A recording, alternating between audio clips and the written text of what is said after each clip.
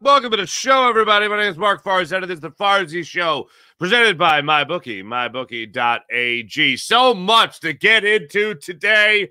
Sixers beating James Harden and the Clippers. James Harden uh, playing like straight ass in the game, and then dodging reporters after. But you know that's just that's just petty stuff, right? Tyrese Maxey was awesome. Kelly Oubre I know that I was ripping Kelly Oubre when it came to everything about uh, you, know, uh, not passing the ball when you have wide open ball, wide open guys uh, you know, on the perimeter. Turns out those guys like Buddy Hield haven't been very good at uh, dropping the three. So maybe maybe Kelly Oubre was right. And then uh, just amazingly aggressive, amazingly aggressive over the last I'd say two three weeks. I mean his great game is naturally aggressive. Um, but it's really worked out for him as of late. Really worked out for him, especially on the defensive end. Loved what I've been seeing from Kelly Oubre over the last couple of weeks. And uh, yesterday's game against the Clippers was no exception. Sixers able to get that victory. Uh, we'll get into that game. We got the, the Haason Reddick news, which is, I, I guess, uh, it's it's progressing in a way I don't want it to progress. Like I, I, the guy's a playmaker, and I don't want to lose playmakers on defense. I want the defense to be as stacked as the offense. And, if you're not going to have a, a, a reliable middle linebacker, now we'll see what happens with Kobe Dean. We'll see what happens, blah blah blah, all that stuff. But like right now, my confidence level in the Eagles linebacking group, shockingly, is not very high. Not a lot of confidence in these Eagles linebackers. Can't remember the last time I really did have a lot of confidence in the Eagles linebackers. It certainly has been 20 years. it's probably been 20 years. Uh, maybe that'll change at the draft. Maybe we could all be, you know, it, it, overly optimistic about how they could change at the draft. I know we've been in the past just fantasizing about what could happen. But uh, we'll get into that conversation today. Jeremy Fowler putting out a report that we'll talk about when it comes to uh, whether or not Haason Reddick is going to get traded and how that's going to go down. But it seems like things are certainly progressing in that direction. That's what I got out of Jeremy Fowler uh, and his reporting ESPN over the weekend. Flyers took a big loss, unfortunately, to the Panthers, a team that they've uh, done pretty well against this season, but certainly not uh, yesterday. Not great. Not great. Uh, four to one loss. So we'll get into that conversation. And spring training the good, the bad, and the ugly and the injured, I'll say, when it comes to spring training. Taijuan Walker, bullpen session scheduled for yesterday. Uh, passed up on that opportunity, had a little tightness and now he's being evaluated. So, not great. When the season starts Thursday, Thursday, Phillies will wrap up spring training play today, and they'll open up their regular season on Thursday, the 20th. I am, I'm, I'm, I'm excited. I, I, what all the stuff going on with the Eagles. We've been following that bouncing ball. We've been following that beat. I know the Phillies have taken a back seat. I think for those of you that know me, that that that, that pains me to give the Phillies a backseat. However, uh, it's opening week for the Philadelphia Phillies, and I I just I can't wait watching the game. Yesterday, Bohm coming up with a big hit. Aaron Nola looking strong through five and two thirds of scoreless work and their two nothing victory over the uh, over the Toronto Blue Jays. But uh, a couple of things, really, the only thing that that really has got me about the Phillies uh, comes down to really two things, I guess. It's the back end of the bullpen uh, and of course, it's the injury front. And if you're concerned about injuries, generally speaking, that's a good thing if the injuries haven't already happened. I know Bryce Harper has had this back issue that's led to his worst spring ever. So that's terrible.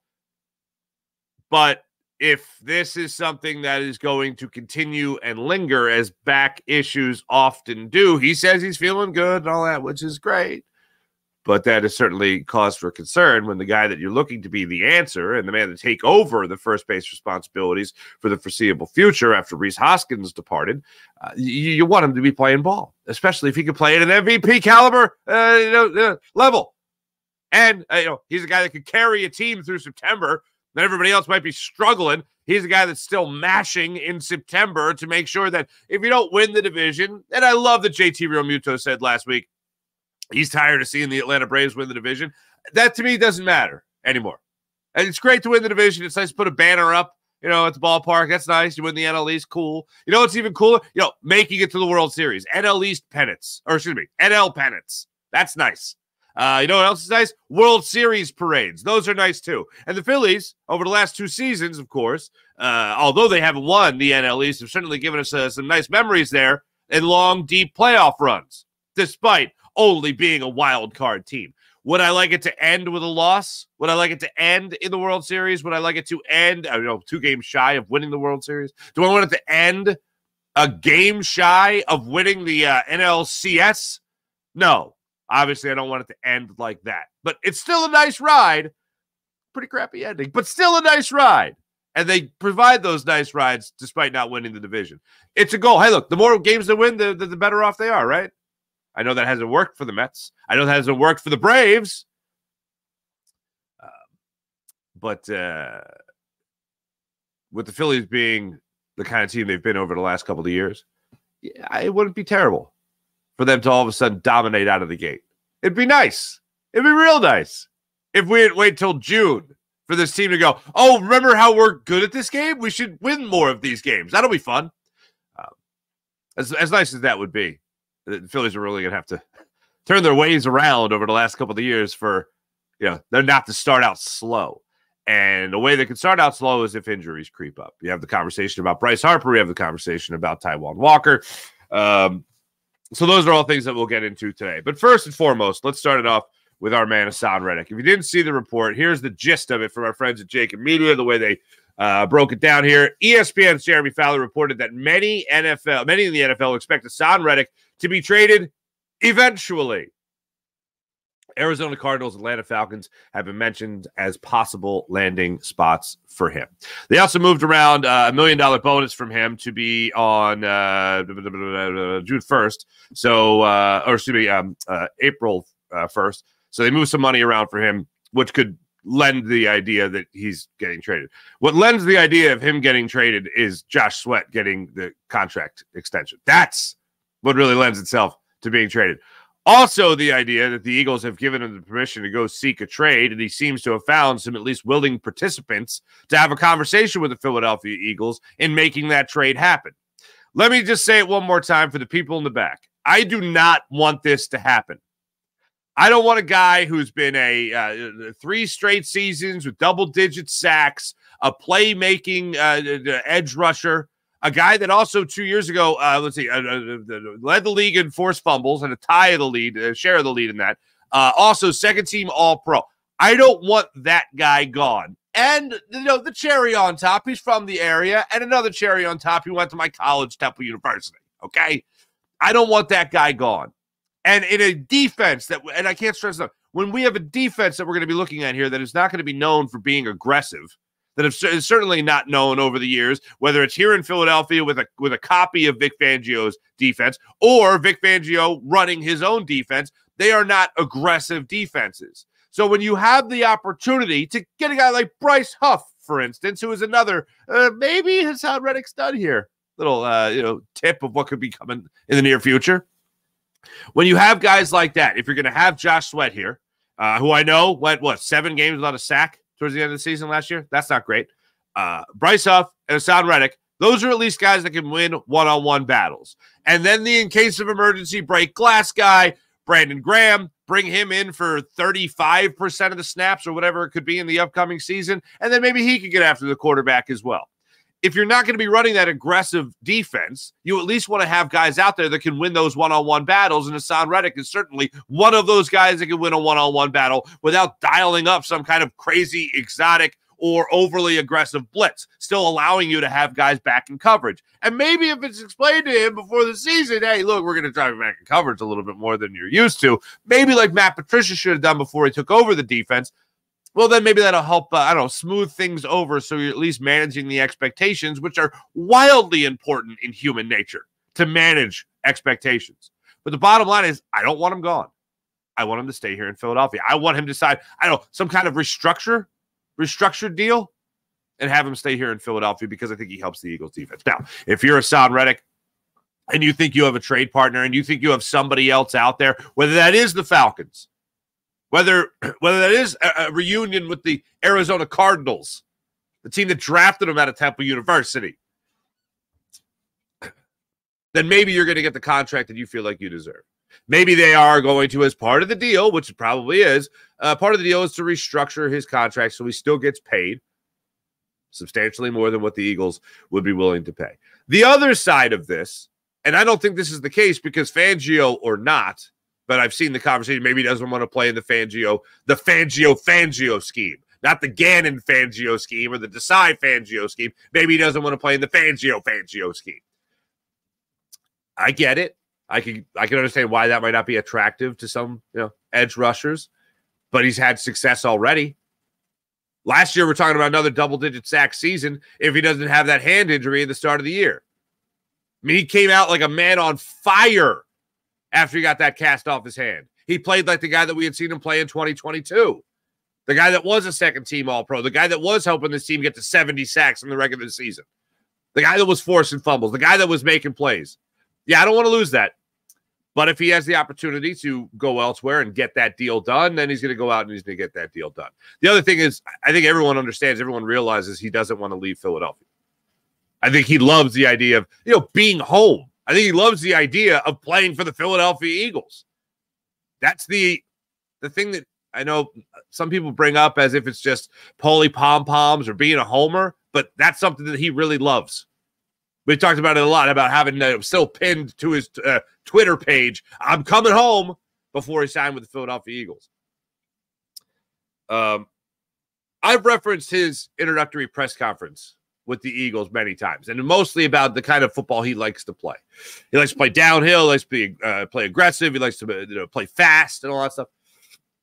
That is not the that's not exactly what Vic Fangio would be dialing up for him here in Philadelphia. If he likes to be aggressive, not something that that's him saying. And I think it's a very important question. It's one of the most important questions that you can get at any press conference. It's when you ask a, a player, a subject, a coach, if you ask them, when are you at your best? That's a question I even love asking. When are you at your best? Because it, it allows the, the player to tell you exactly how they're at their best. Now, sometimes they they get a little smart and they go, "Oh, I'm, I'm, at my best when I'm doing whatever the team needs me to do." Okay, cool. But when do you, if you could call your own plays, what are you doing? And Haason Reddick talked about playing downhill, talked about being aggressive, going after the quarterback, allowing you, uh, uh, giving him the opportunity to use his speed. Doesn't seem like something he's going to be doing too much under Vic Fangio. So maybe it's going to be uh, the thing that he doesn't want to happen, but the thing that he needs to happen to go elsewhere, cash one of his last big checks, get one of his last big contracts, put up some numbers for himself in a different defense under a, different defensive coordinator, and make some good things happen for himself. Bottom line is, is someone who really likes it when the Eagles win a lot of football games. I want to sound Reddick here because I think he can help the Eagles win a lot of football games. And when I go through free agency, and by the way, I was on with uh, our man uh, Dan Sileo on uh, Friday. Okay, he asked me the kind of grade, what grade would I give the Eagles in the offseason here? And I said, if you include the coordinators, it's an easy A. Easy A. If you don't include the coordinators and you still have holes on defense, um, I'm going with a B plus. Pro Football Focus, without including the coordinators, also gave the Philadelphia Eagles a B plus. I think the Cowboys got a D which is just fun to stare at and laugh at the Cowboys. Oh, look at that. No kidding. A big D in Dallas? You don't say. That's fitting.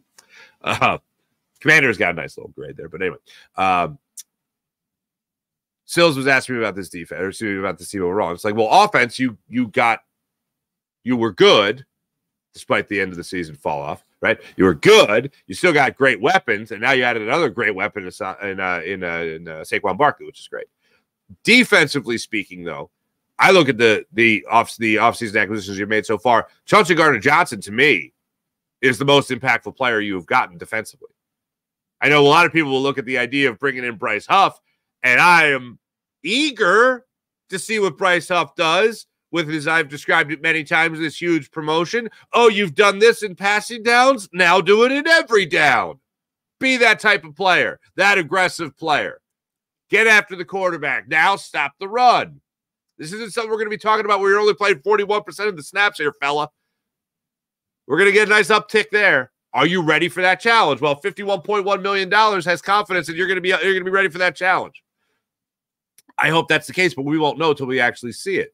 But defensively speaking, the move that has me even more excited or more excited than even the the big money free agent acquisition, the guy that's supposedly on the upswing in his career, which is Bryce Huff, and I hope that is the case, obviously. But it's Chauncey Gardner Johnson. Defensively speaking, I'm still waiting for that move that is making me go, oh, look, they're serious about this. And Devin White is a is a I've described him as a has been that could be again. But there's no slam dunk move. Chauncey Gardner Johnson, I feel, is the closest thing you have had to that this offseason. What would really get things going here is seeing Edgerrin Cooper in an Eagles jersey, seeing Trot Jr. in a uh, Eagles jersey, James Bradberry on the move even elevating Kelee Ringo to a starting position. Or maybe you go after, uh, if you don't go offensive line, maybe you go Kool Aid McKinstry there in the first round at corner. That would, huh, okay.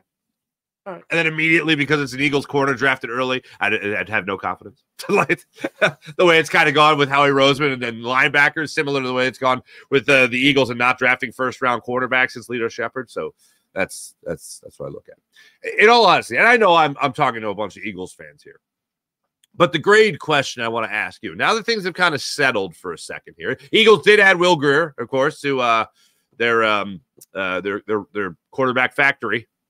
There you go, another backup quarterback there. Steve Riggs, who came has a history playing with the Cowboys, has a history there with Kellen Moore. So also with the Patriots. Um, at this point, where we're at right now with the Philadelphia Eagles, what grade have you given them? How would you look at Howie Roseman this entire offseason? I'm not just saying just the, uh, I'm including the coordinators in this because that matters. Going into last season, I said the two biggest question marks on this team have names. All right. Two biggest question marks. It's not a position group. I guess you could break it down to it and say there's one. But the two biggest question marks are named Brian Johnson and Sean Desai.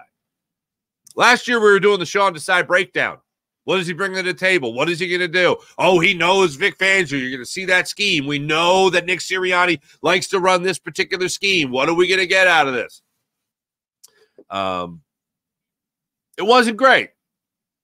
First half was usually pretty terrible. Second half, actually pretty good. Made those adjustments. So that means during the week, the game plan that you've been putting together wasn't great. But the adjustments were pretty good. And the game I always go to, it's a perfect example of that, would be the game against the Rams. When they were out there in LA, and they're having all sorts of struggles against Cooper Kupp just coming back. And then in the second half, they turn the tide, they make it a lot different. And they held him, it was, let's see, 97 yards in the first half to 25 in the second half. So they made some good adjustments on Cooper Kupp. Uh, but obviously, it wasn't enough because they had to go a different direction for. Well, that's just what they decided to do, and I feel like that was the that was how would I the best way to describe it would be you know the the the final I don't know balloon popped. That would be the I don't know one more iceberg that hit the Titanic. I don't know. I don't know, but that would be it. The straw that broke the camel's back. I guess um, that would be that. Offensively speaking, Brian Johnson, uh, no adjustments. Now you have an embarrassment of riches when it comes to experience. Last year, one year of experience in the position they were occupying with the Eagles. Brian Johnson, zero years as an offensive coordinator in the NFL. Sean Desai, one. So between the two, they just had one year, which is why, to me, they were the biggest question, question marks. So this side, this year, they go far on the other side of that. They get a guy who's not only had experience offensively. I mean, we know the resume by now of Kellen Moore, but to just have that, I think, matters. We know the resume of Vic Fangio. To have that matters. We learned last year, oh man, every once in a while you might find a diamond in the rough, like Shane Steichen, for instance. But other times you fall flat on your face. And that's what happened at the end of last year. So you have to include coordinators, I feel. From last year, the end of last year, to right now, with the moves the Eagles have made.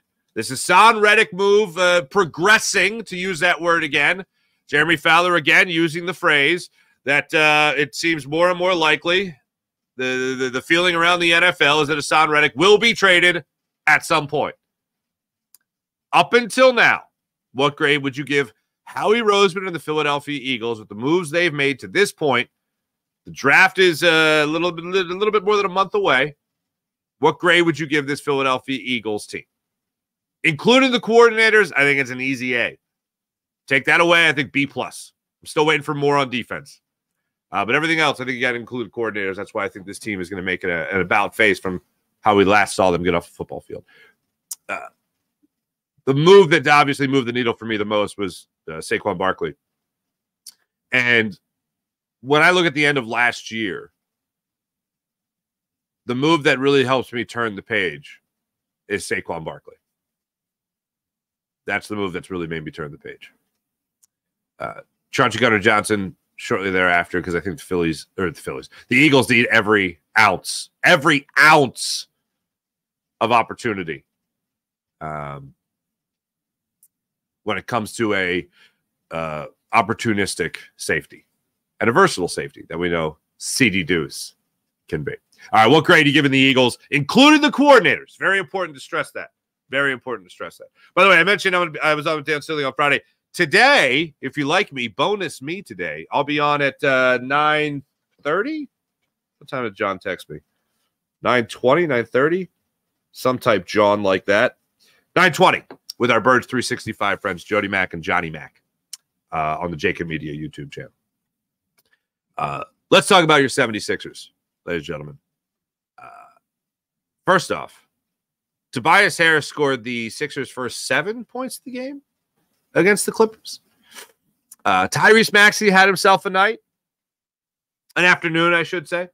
Uh, good game, not a great game. We've seen him put up more points, but uh, funny to say this Tobias Harris was your leading scorer in yesterday's game. 24 points for Tobias Harris. Maxey dropped in 24 as well. So, you know, co leading scores, I guess. Uh, Kelly Oubre only had 12, 12, points, but it was allowed 12 points. Also, uh, came up with that huge block on Paul George. Here's what I really loved about the Sixers they came out on a mission 41 points in the first, uh, first quarter. Uh, they came out swinging again in the second quarter. Third quarter, they started to lose a little bit of control. The Clippers come out. They start knocking down some shots. I think it was Paul George. Uh, Harden, I think, had a shot there. And Kawhi Leonard. Um, they came out swinging there in the start of the second half. And the whole time when you're playing a team like the Clippers, I'm always waiting for that moment where they're going to go on a run. You have guys like Kawhi, they're going to hit shots. James Harden's going to hit shots. He didn't in this game. Uh, Paul George's going to have his moments, like all that kind of stuff. You're going to have moments like that when you face good teams where if it's close or they're down, you know there's going to be a run here somewhere. The Sixers took that run on the chin at the start of the third quarter and then started to take real straight up control in the fourth quarter. Though that's what I like to invoke the phrase from uh, Breaking Bad be the one who knocks, be the danger. I'm always waiting for that for the good NBA teams. And the Sixers right now is a play-in tournament team. You can't say, oh, they're a really good team. You can't say that without Joel Embiid. So right now at this point, I was waiting for the Clippers to make that run, hoping that the 76ers would be the team that knocks. Next thing you know, Tyrese Maxey knocks down back-to-back threes. Uh, Kelly Oubre comes up with the big block. Tobias Harris continues, gets back on track for what was a, a by Tobias Harris standards, a stellar game. Paul Reed comes up with a couple of shots for you. Cam Payne knocks down five total threes in the game, including some money buckets there in the uh, fourth quarter. And it all ended with final was 121 to 107. And after the game, James Harden, who was it 13 points he ended up with? 12 points he ended up with on 5 of 13 shooting, 0 for 6 from beyond the arc. Um, that's right, he missed that step back. Uh, left the locker room. Left the locker room before Ty Lue even addressed the media in his post-game press conference. A little better. A little better. It's nice. It's nice. Sixers fought against the Lakers, didn't win. Sixers came out swinging against the Clippers. They won. Now they're at it again tonight, 10 o'clock tip off in Sacramento, where they wrap up the uh, the West Coast road trip before they come back home. And then Maybe this time next week, we're talking about, oh, Joel Embiid's ramped it up a little bit. Let's hope that's the case. But really enjoyed that Sixers game. Really enjoyed Tyrese Maxey stepping up there in the fourth quarter. Really enjoyed Tobias Harris. Every once in a while, he'll give us a little flash in the pan and be like, oh, wait, he can be good at basketball. And then he's terrible at basketball for like three weeks. And then he plays a good game. Like, oh, look at that. Maybe we'll make it back to what was it? He had a 28 point game and a 31 point game. Back to back games. We're like, oh, maybe there's something. There's not. There's nothing. Let's hold out hope, though. Let's hold out hope. Uh, Sixers 39 and 32 now on the season. And like I said, they do sit in the play in tournament aspect of things right now. Uh, they are a half game, half game behind, behind the Indiana Pacers, who draw the Clippers tonight, maybe, um, uh, for the sixth seed in the Eastern Conference. Sixers and Heat are both a half game behind the Pacers. The Bulls are a team that's way down there, ninth seed right now. And the Magic are um, two and a half games better than everybody else uh, in the fifth seed right now. And the Celtics are just amazing. Not much you can do about the Celtics now, unfortunately. Uh, let's talk about your uh, Philadelphia Phillies. Yesterday, it was great to see this. Love to see this. Aaron Nola on the hill for the Phillies. He went five and two thirds in his last start of the spring and his final tune up. Love hearing that. Love hearing that. Uh, two hits he surrendered, four strikeouts, one walk, lowered his ERA. Before the game, his ERA was north of five. Now, look, I don't like looking at numbers. I don't like looking at statistics when it comes to spring training it's spring training. I like to go by, yes, the old adage of if a guy is really mashing, if a guy's really raking, or if a guy's really throwing heat during spring training and he's got like a 1.08 ERA in four starts, then, oh my God, Cy Young. You know, I like to get carried away with that. But I like to follow the adage of if they do well, then the numbers matter. If they do terrible, bah, it doesn't matter. Like that, that's what I like about any type of preseason play, whether that be football, whether that be baseball, that's I like go by. Uh, but when they're actually good, and they're a guy that has a track record of usually being pretty good, like Aaron Nola has a track record of usually being pretty good in the up and down years, usually with Aaron Nola. Down year last year means an up year this year. So to go by all the um, real weak poly pom poms analytics that I like to go by, Aaron Nola's going to have a great year. Uh, but before the game, he had an ERA north of five. After the game, ERA sub four, baby. 379 ERA for him on the season this year. Did like the news that the uh, Phillies got, or they at least put out yesterday when it came to Matt Strahm. I like Matt Strahm a lot. Very versatile player. Can play in the bullpen, long relief, can be a starter for you in a in a in a, in a, uh, uh, in a crunch, right? I like all that. So they extended him yesterday, which is great. Jake Cave, you know, speaking of a guy, like people are making a lot of Bryce Harper's numbers, and I understand that. Terrible, worst spring he's ever had. Jake Cave on the other side was hitting 325. And it's like, you're going to Colorado and we're getting back cash. That's all that matters here. So that's what the uh, Phillies did yesterday uh, off the field in the front office. Strahm did pitch yesterday, by the way. He came in uh, after Nola, but inning in a third and had a, and uh, recorded a strikeout. No walks, no hits. Um, but uh, as far as this Phillies team goes, I was looking at the lineup before the game, and I know without Schwarber in the lineup, and I know without um, uh, Merriweather, um, Merrifield in the in the lineup. This isn't exactly what your opening day lineup is is going to be, but I like the idea of Stott leading off. Wouldn't mind that worked in a little bit throughout the season. Uh, Harper was back in the lineup again yesterday. Um, not great. Uh, 0 for 2 for him. Uh, Realmuto was batting cleanup. He took the 0 for as well. Bohm, big day from the plate, 3 for 2, including an RBI double, which was nice to see. Uh, Marsh, Pache, but no Rojas yesterday. Uh, no, I'm sorry. Rojas did play yesterday. Uh, but Pache got in the game. Marsh got in the game. Johan Rojas has made the big league ball club.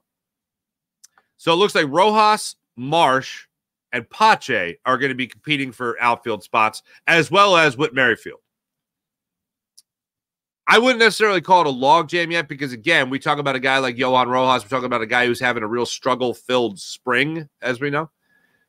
I find it interesting that they kept him uh, on the big league roster only because if you were really putting it out there for him to take this and run with it, as Dave Dombrowski said when spring training was just getting underway, we talk about an open spot or two on the roster Uh, and him being asked about Johan Rojas being your everyday center fielder, he said this has got to be something that they go out there and take. You know, he's got to go out there and make the big league ball club. We talked about this on Friday. We talked about this a couple of weeks ago with our friend Greg Murphy about how you don't want to just hand it to the player. Well, you kind of just handed it to the player. And I'm not, look, I'm not against it because I think he'll do better at the major league level than a 170 batting average. Again, it's spring training. I'm trying not to make too much of the numbers. But I think ultimately, by not having him start out the season on the big league roster, I think they're going to kill the guy's confidence.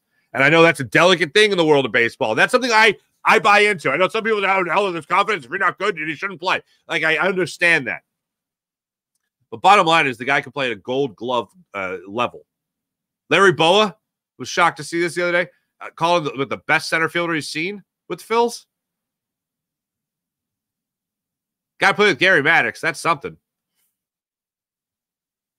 Um, if you could get a defensive player like that in center field, then you have a defensive player like that in center field. And you look at the rest of this lineup and you go, all right, you know, Johan Rojas, we can understand that defensively speaking, you're going to be pretty stellar out there, cover a lot of ground. In the event you got Brandon Marsh in left or you got Cristian Pache in left, that's a that's a pretty good defensive outfield. Rest of the guys on this team will take care of the hitting part of it. You know, of course, you don't want that automatic out. We all get it. But if there's going to be a lineup where you can kind of hide the bat of Johan Rojas, this is the lineup you can hide the bat of Johan Rojas. We'd love to see Marsh start out the way he started a year ago, especially coming off the injury, getting things going for himself the way he has in spring training. Would love to see that. Um, started out real hot at the beginning of last season, if you remember, and then of course Johan Rojas came up and uh, kind of took us by storm as far as the defensive angle of the game went. Uh, but very interesting what we're getting from the Phillies, and I, if I could ask, if I could have one request, if there could be one big change from what we have seen from these Phillies deep playoff runs that we've had over the last two seasons, the first two two months of the season, man, they really I don't like to use the word scared, but they grab your attention. The Phillies do. And I even remember I remember starting June and the Phillies, they had just come off a series with the. They went into Washington. Rob Thompson makes the change to put Kyle Schwarber back at the top of the order. Uh, Trea Turner is going through his struggles, and then, little did we know that was just the beginning. And then all of a sudden, maybe the second or third game in June, they just started to turn things around. It makes zero sense to me to have Kyle Schwarber at the top of the order, like as as the leadoff hitter. Even batting second make to me makes a hell of a lot more sense. But for whatever reason, the Phillies are a thousand times better ball club with Kyle Schwarber's at the top of that order. I know it doesn't make sense to a lot of people, but if they win, it's the only thing that needs to make sense, right? I and, and the reason I even move him down one spot is because yes, the one thing you can say is you want to make sure that he gets as many at bats as possible. And if you're batting one, two, odds are you're going to be one and two in terms of at bats in uh, for your lineup, uh, for your roster. So yeah, getting him to the plate as many times as possible to have him take that uh, Paul Bunyan esque uh, swing through the strike zone. Yeah, I want to give him as many opportunities as possible to bomb that ball into the right field stands by batting him first or second, first or second. You're giving him plenty of opportunities to hit those home runs. I just kind of like it when there's a, right out of the gate an opportunity to have a guy on base for you. Bryson Stott, because of so many pitches he sees, he'd be your prototypical leadoff hitter. Trea Turner would be a prototypical leadoff hitter, especially with his ability to um, steal bases. These are all great things that I want to see. But for whatever reason, this team just wins games with Kyle Schwarber batting first. Um, so if that's what they're going to do to start the season, then that's what they're going to do to start the season. But my request is again, like maybe you don't give us those two two months where we really sweat it out and think that everything's just going to be terrible with this Phillies team. Great disappointment. Don't make us wait till June. All right, don't don't tease us. You're either with us or against us. Don't don't don't do that, please. Please don't tease us. Please, can I make that request? Thanks. Let me tell you about the great people at MyBookie. My oh wait whoa whoa whoa whoa Before I talk about MyBookie, how dare I not talk about the national story that will get even more legs today. Shohei Ohtani set to address the media today. By Dave Roberts' mouth uh, yesterday, he was asked whether or not this was Ohtani's decision or this was the Dodgers' decision. Dave Roberts said, that was Shohei's decision. I was like, the way he said it, I was like, Ugh. all right, so let's just take him at face value. Let's say this is decision. Fine. I don't know what we're going to hear today. Like a formal press conference, not a uh, media scrum at Ohtani's locker. What what are we going to get from Shohei Ohtani today and the new interpreter? Because uh, Mizuhara is obviously no longer with the team and no longer the interpreter of Shohei Ohtani, uh, and allegedly has committed this, uh, according to Ohtani, Ohtani's agent, uh, committed this massive theft of Ohtani. I, I, I got questions. I said last week, I'm sure we'll hear from Ohtani in the very near future because I think he's he's going to want to address it. I'm just very curious to see how they handle this because I think today you're going to find out a lot as to was he really involved in this or was it really a massive theft? Um, was it a favor? Was he covering the guy's gambling debts to to you know, be nice? Or was the money really stolen? I think that's kind of when did you find out about this? When did you first hear about it? Was it really in the meeting? Because imagine you're Ohtani for that. Like imagine you're at work, all right, and they call a meeting with coworkers, not just they hey come into my office I got to talk to you. No, like this is in the clubhouse, and you're listening to you're firing the interpreter because of a gambling thing. Oh no way! Oh wait, I'm involved in this too somehow. Uh, maybe without even your own knowledge, and people are telling a room full of people this. I'm sorry, and you don't speak the language, at least fluently. That can't be a good moment. That's got to be a crappy moment. I, I I look forward to seeing what information he is willing to give today, because as uh, any lawyer might tell you, it's not necessarily what they're saying; it's what they're not saying. So if you hear the word "no comment," first off, I'm looking forward to learning that in Japanese. Uh, but if you hear that word "no comment," huh? Okay, that'll raise my eyebrows a little bit. Well, look, what I'm hoping for, and this is a weird thing to hope for, but you don't want baseball to be tarnished. I never want baseball to be tarnished. I want I don't want anybody to be tarnished, you know. But it's a, there's seems like there's been a crime or something uh, a little fishy going on here. So the goal is to be get at the bottom of this. But I think what most people would like to see is the idea that um, Ohtani had nothing to do with it. He was the victim here. And I know if that's the story that does come out as the truth, baseball would go, oh, thank God because you're talking about globally the biggest baseball star in the world. Uh, and that's where we're at with the Ohtani thing. So we'll address the media today, and we'll see what further information people are able to dig up. Whether or not we have to read between the lines, or whether or not we'll get a whole lot of information offered to us. Now, speaking of gambling, let's talk about MyBookie. MyBookie.ag. Download the app to your phone. Use promo code Farzy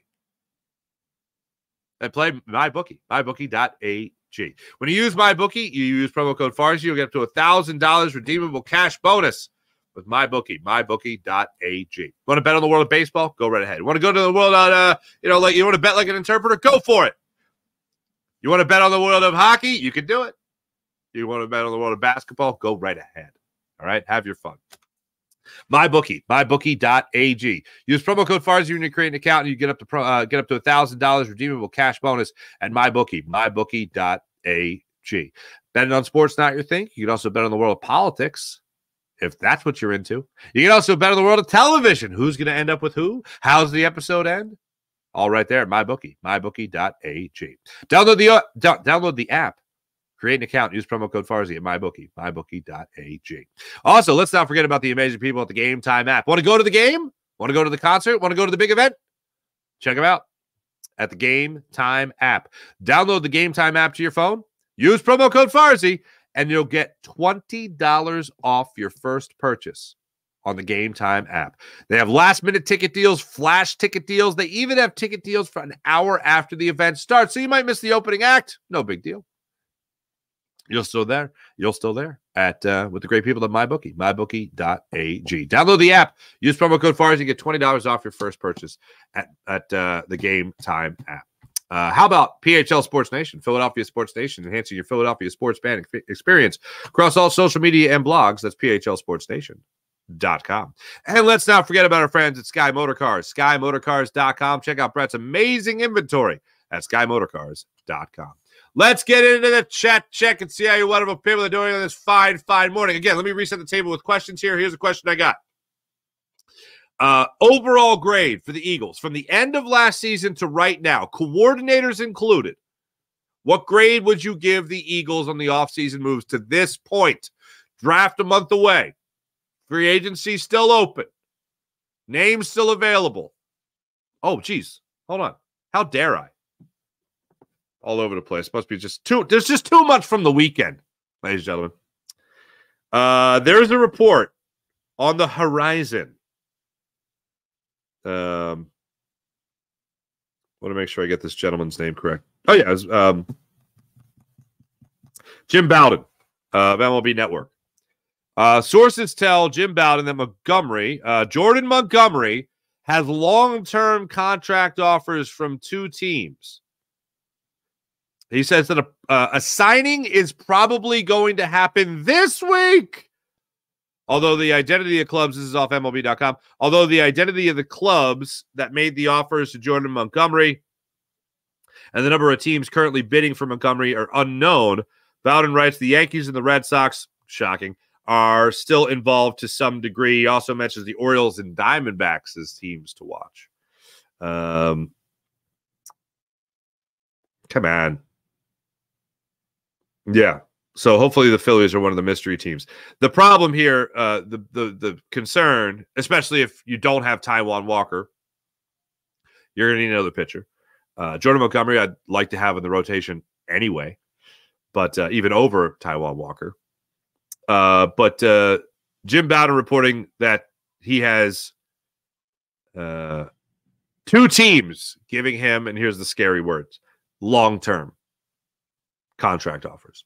Philly is in the market for a short term deal. They were supposedly in on a short term deal for Blake Snell. Blake Snell went to the San Francisco Giants, and now they're in on a short term deal for Jordan Montgomery, supposedly, maybe, possibly, uh, but he has long term offers at his disposal. If you've already got a World Series ring,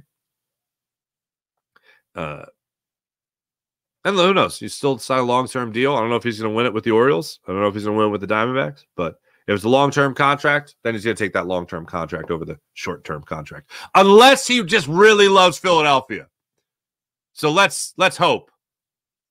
Let's hope that he really loves Philadelphia because I'd love to see him here. Love to see him here. All right, let's get into the chat check and see how you want wonderful people are doing this. Fine, fine. Monday morning, opening week for your Philadelphia Phillies. Sean Gillespie, good morning. April, good morning. Twiz, what's popping? Asia, Robertson, Robertson, Robertson. Nice to see you. Everyone saying hi. Twiz, you ready for the opening? Oh, look at this. People are excited. Let's go, Fells. You're a Mets fan, right? What? Huh? Who's a Mets fan? Sean Kilrain. IBH, what's popping? Reddick. All right, I love it. Sean Kilrain. Reddick has to stay. Stats don't lie. Speaks for itself. You find no argument for me, friend. Find zero argument for me when it comes to Haason Reddick. Uh, it was funny. I went to what the hell was I? Oh, I was going back and looking at his uh, Wikipedia with the Cardinals. And when I went, I was like, "Oh, I forgot he was he he was tied with the league and uh, tied for the league lead in forced fumbles in 2022." It's just one of those weird things that I don't really I didn't really pay attention to. like, "Oh yeah, look at that." Forgot about that. Uh, what did he end up with? Come on. Yeah, four straight double digit sack seasons. Yeah, I'll keep that guy here. I'll keep that guy here. Oh, that's not what I wanted. I wanted to see the game log because I felt like it was a big. All right, that's the end of the season, start of the season. All right, so he gets the cast off in uh after week three. sack against the Commanders, two sacks against the Rams, two and a half sacks against the Jets in a loss, no sacks against Miami, weirdly enough, in a good defense game the team played then. Uh, sacks in three straight games, misses a, or skips a game, half sack, two sacks against the Cowboys in that loss against the Cowboys, and then he went one, two, three, four, five straight, six straight games, including the uh, playoffs, six straight games without a sack. Either way, I want that guy on my team. Four straight 11 sack seasons. Hells yeah, man. He'll be 30. He'll still be 29 if he's on the Eagles team and when, when they play in Brazil. Bottom line is he'll be 29 when the season really starts, and then soon after 30. He's a September 22nd birthday. There you go. Uh, oh, Asia, you work at Citi Field, but he's no Mets fan. There you go. Or Asia. I said he. I don't know. Uh, the only Asia I know is a is a lady. Um, and then there's the continent, obviously. Um, Citi Field. I haven't been to Citi Field yet. Twiz, okay. Oh, this chick is a Yankees fan. There we go, Asia. Thank you, Asia. Oh, yeah. Did you notice that, Sean Kilrain? Sirianni, Chiriani. Uh, yes, NFL coaches took their annual group photo at the league meetings in Orlando. Chiriani pulling a Belichick, a no-show. I saw, I saw uh, Jeff McLane tweet that as well. I looked at the picture, and of course, you know, I, I think like many people, I just like looked for my head coach, right? And I was like, "Where's where's Chiriani? Where's where's uh where's uh where's uh Nicky uh, Nicky C's? Where, where where where is he at?" Wasn't there? There was a couple of missing coaches. I thought I counted them up. I didn't get the thirty-two. But then again, I did repeat kindergarten, so don't. Uh, Joe Webb, This is interesting. Okay. Ba, ba, ba, ba, ba, boop. Just wondering, but has Fangio style defense ever won a Super Bowl? If not, why use it? Um, Fangio obviously lost with the 49ers. Didn't do anything with the Broncos. Nothing worth bragging about with, well, I mean, franchise record in sacks with the Dolphins, but nobody gives a damn about that. Um, I don't think so. Eagles went to the Super Bowl, obviously, with Gannon running his scheme. The reason uh, people use it, and maybe this is unfair, but this is how I think of it. Is the NFL an offensive league or a defensive league? Are sports in general offensive or defensive? Well, off- offensive or defensive? They're offensive. So Fangio, Fangio's scheme is a, it it really abuses the hell out of the old adage that Jim Johnson even used, which was bend but don't break. I like to say that Jim Johnson would definitely practice the bend but don't break, but we might break you. That's the way I would describe Jim Johnson versus Vic Fangio. Jim Johnson would try to break you while trying not to break, while bending, going after the quarterback, being aggressive. I've told you guys many times, and when Hollis Thomas has been on the show with me, I referenced the first show that Hollis and I ever did together at um, Finnigan's Wake. May it rest in peace. And uh, he showed me this is what Jim Johnson would do for a defense. he showed me a piece of paper, and it was just 11 arrows pointed at the quarterback. And I'm like, that's yeah, that's that seems like it would be. With Vic Fangio, Jonathan Gannon, that whole scheme, that's not what you're gonna have. You might have three arrows, four arrows at the quarterback, five at most. So what it does is basically in a era of football, in a game, let's just call let's stick to football here, and just the, the game of football, they're doing more and more things to help the offense. And with that said, they're just trying to limit big plays. They are trying to give the offense, and this might sound really crazy to people, as many opportunities to make a mistake as humanly possible if you sit back and you allow those 10, 15 play drives, then you might get that tipped pass. You might get that errant throw. You might get that bad decision. You might force, force that fumble. You might win a one on one battle and get a big sack and something like that. It's not forcing mistakes, it's shell defense, it's quarters defense, it's um, not blitzing a whole lot. I mean, all that stuff. Uh, what it's trying to force or what's trying to take advantage of is the idea of you not making mistakes, but allowing the other team the opportunity to make that mistakes. Where this drives me the most crazy, just keeping in this division, let's say. Two years ago, the game that really drove me crazy. The Eagles are playing the Giants, and Daniel Jones is a guy you could, yeah, sure, he'll make mistakes, but you could also force him into making mistakes. He's not going to pick you apart so why not eh, dial up a blitz? Why not be a little aggressive? Why not force that fumble? Why not force him out of the pocket a little bit more? Why not try to make him make a mistake? Why not? Instead, you just give him all the time in the world to throw, and he'll dink and dunk down the field.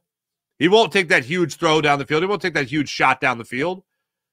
Those games against quarterbacks like that, that you know, if you just rattle their cage a little bit, they're done for the rest of the game. And that's what drove me crazy about Gannon not going after him a lot. Obviously, Desai, obviously, or Desai never got the opportunity with, the, uh, with uh, Daniel Jones. Um, but even with Fangio, that's that type of thing just drives me bonkers. So the reason it's becoming more popular is because, well, look, I think it's a concession.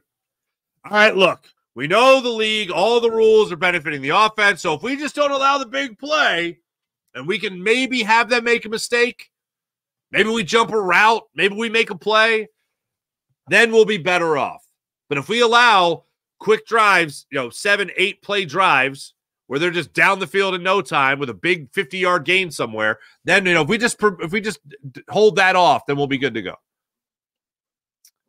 Uh, but it's a good question, Joe. Thank you. Twiz, as much as it's killing me, take care of Barkley. That's funny. We'll try. B Costello, trade Bradbury, keep Reddick. Ah, uh, yeah, I please love that. Love for that to happen.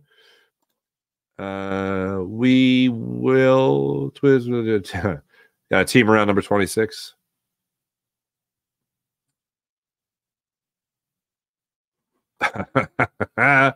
Want to know uh, why we uh, signed Will Grier to uh, a quarterback one year deal? quarterback factory because camp bodies. I don't know. I don't know. Watch, watch.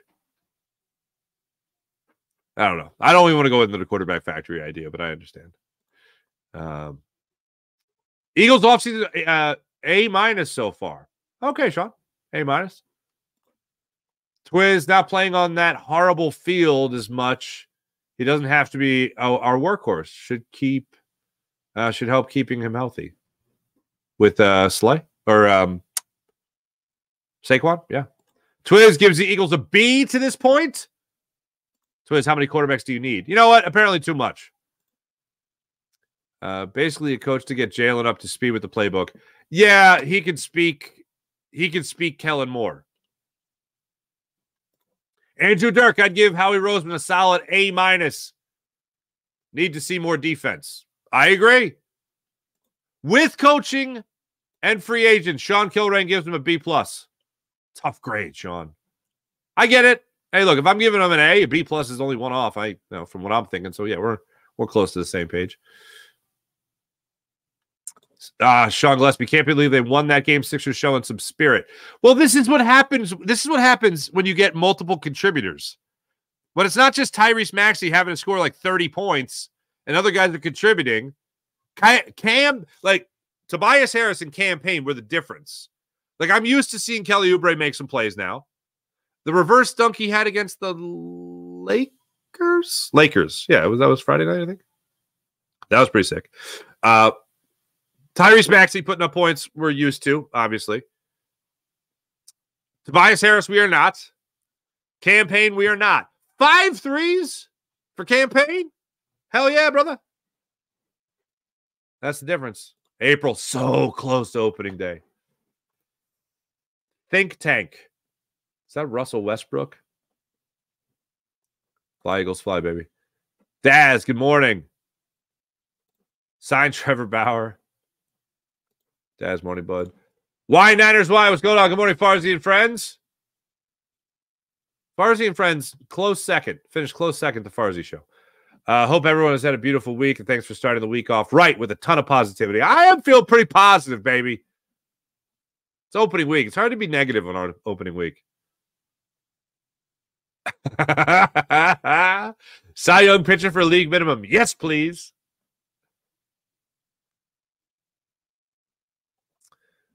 Uh, Yamamoto out there getting paid 400 million with an 8 ERA. That's funny, Des. Twiz, Farzy and Bill's midday show? I don't know about that, bud. Uh by the way, did you guys catch any of it? Me and Sills, Dan Sileo on Friday.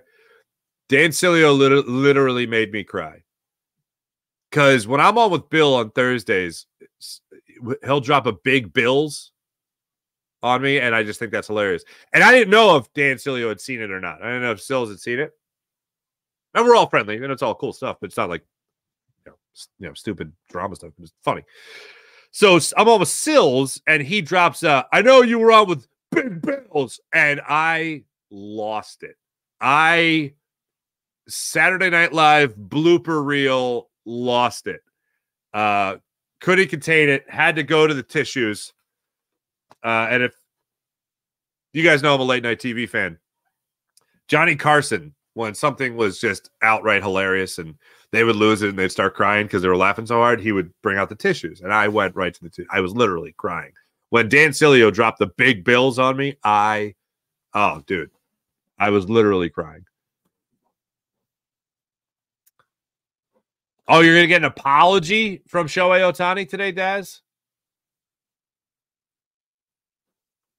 And then they throw they throw him a parade. That's funny.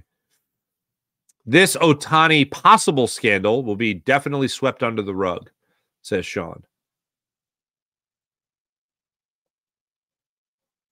well, my interpreter has my Mac card. That's funny. Nice twiz. They should have his translator there translating for him. Well, they will. It'll just be a different translator. The pick of Ohtani next to Butts was funny, or Betts. Jeez, not Butts. What's on my mind? Uh, the sh- pick of Ohtani next to Betts was funny. Might not want to put them near each other. Ah, that's great. Bet like an interpreter trademark for Thank you very much, Sean. Appreciate it. I knew you'd like that one. All really depends on the draft, but I would say an A minus. A minus for now. Twins solid B for the Eagles. Why Niners want twins? I'm good at saying in my lane. Pom poms flying. Go Farzy pom poms. That's funny. It doesn't matter what defense you run. Defense will be mostly non-existent with the rules anyway. KJ, that's kind of the point. It's kind of the point I'm making. They don't give a damn about defense anyway. So as a defense, why should I care about us making any big plays when everything favors them anyway? Dunmore Vic never saw a Super Bowl. Oh, never won a Super Bowl. Okay, yeah, yeah, never won a Super Bowl. Swizz, I love the argument that Vic is due for a Super Bowl. Spags has won four Super Bowls. I'd rather win. I'd rather use that. I would too. I would too. Uh, begging for Fangio to be fired as soon as we let up a touchdown on the first drive. Yeah, we will be begging KJ. How about that Flyers win? Flyers lost. Um, Joshua Stewart, what's going on? Why don't the Eagles just extend Haason Reddick on this his last year? Let him play out his contract. If he bail, if he balls out, uh, pay the big bag. Well, because Haason wants a new deal. And if the Eagles give him a new deal, it's going to be a horse, you know what deal. It's going to be bull. It's going to be a backloaded deal that he'll never see the end of. So, yeah, that's why, unfortunately. Thanks, everybody in the chat. Uh, appreciate you guys as per usual. Like I mentioned, Sixers are back on it tonight. 10 o'clock start time in Sacramento, where they finish up their road trip uh, they have an opportunity tonight uh, with the end of this road trip to go even. What was it? Phoenix? Yeah, Phoenix was the first game of the trip. Yeah, Phoenix they lost to the uh, Lakers, Clippers, Sacramento. Hopefully they could beat Sacramento tonight, 10 o'clock again. Uh, they win that game. They go four for four, uh, they go two for two on the four game road trip, and then they come home to face the Clippers again Wednesday night, and then Friday they're in Cleveland. Sunday they're in Toronto. So a lot of road games here. A lot of road games. What a week we have here, ladies and gentlemen. What a week. Flyers, by the way, they did lose. It was four to one, I believe, was the final. Yeah, four to one. Then they got the Rangers tomorrow night. So uh, it's a tough. Oh, the win over the Bruins though was good. We can talk about that. That's nice. Uh, win. Yeah, lost yesterday against Panthers. Not so great. So that's where we're at right now in life. But the Flyers are back at tomorrow against the Rangers at Madison Square Garden. Seven o'clock puck drop. Uh, we got uh, Phillies opening day Thursday. We got NFL owners meetings going on right now. Look forward to maybe hearing from Jeffrey Lurie, hearing from Howie Roseman, hearing from Nick Sirianni. Uh, we'll see how all that goes. I'd love for Nick Sirianni, Nick Sirianni to get another opportunity here to explain what the hell he does in a nice way. Get asked that question. What is it you say you do here? So we'll see if we get that this week. Oh, the Wings. My beloved Philadelphia Wings have two games this week, one Thursday and one Saturday. So make sure you can make it on down to the Wells Fargo Center, ladies and gentlemen. Uh, that's the show. Uh, I'm going to be making an announcement um, about me later in the week. Some things are coming together uh, that would in, invo- involve uh, more of me. So stay tuned for that. Thanks for watching. Thanks for listening. My name is Mark Farzetta. Hey, don't worry. In two hours, I'll be on with our friends at Birds 365, Jody Mack and Johnny Mack on the JAKIB Media YouTube channel. Thanks for watching. Thanks for listening, everybody. Uh, make sure you hit subscribe to the Farzy Show. Make sure you hit subscribe on the JAKIB Media Show as well, the JAKIB Media channel as well, uh, and all that fun stuff. Thanks for watching. Thanks for listening. My name is Mark Farzetta. This is the Farzy Show presented by MyBookie, mybookie.ag. Be back with you guys in two hours on Birds 365, and then again tomorrow morning, same time, same place. See you guys then.